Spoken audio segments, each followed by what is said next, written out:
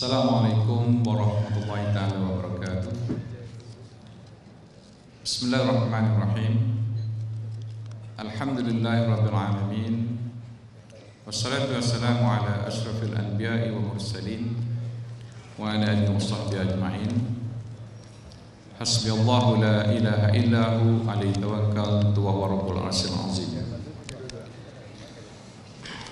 Bagi saudara kursi majelis yang berhormat Datuk Takiuddin Hasan Yang Hormat Dr. Ramli Esko Sukan Saudara Kamil Hussein Pengurusi KW KIBW 2014 Saudara Azhar Maju Yusof Pengarah KIW 2014 dan ahli jawatankuasa tetamu daripada luar negara Pak Jasril Bikers Indonesia daripada Singapura, Mr. Jack, Bikers Thailand dan semua bikers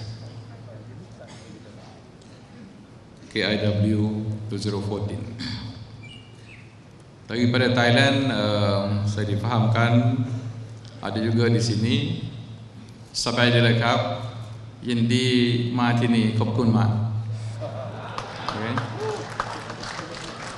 Uh, daripada Singapura kalau ada kaum Tionghoa Huan Yin Lai Kelantan Kelantan Hau Ti Fang okay. dan kalau ada yang India Vanakkam kan nantri Paribun kabare kalau ada Sunda kumaha damang. Ya. saya. Alhamdulillah bila kita mengucap syukur kepada Allah Subhanahu wa taala Karena di petang hari yang mulia ini kita sama-sama dapat berkumpul di Dewan Putik Negeri Kelantan ini satu-satu dewan di Negeri Kelantan yang boleh memuatkan 4000 kapasiti dia. Dan uh, saya selaku Esko Budayaan Pelancongan dan Warisan Negeri Kelantan sudah tentu ingin mengalu-alukan tuan-tuan, puan-puan, saudara-saudari ya, sama ada Pucai, Puying ke Negeri Kelantan ini kerana inilah satu-satu negeri yang mempunyai 1.6 juta rakyat 10 jajahan 12 pihak berkuasa tempatan 45 Dewan Undang Negeri dan 14 kawasan parlimen. Kepada semua negeri-negeri di seluruh negeri Kelantan yang sudi hadir dalam Malaysia ini dan juga peserta daripada luar negara daripada Malaysia kami bagi pihak Kerajaan Negeri Kelantan mengalu-alukan dan akan menyokong penuh.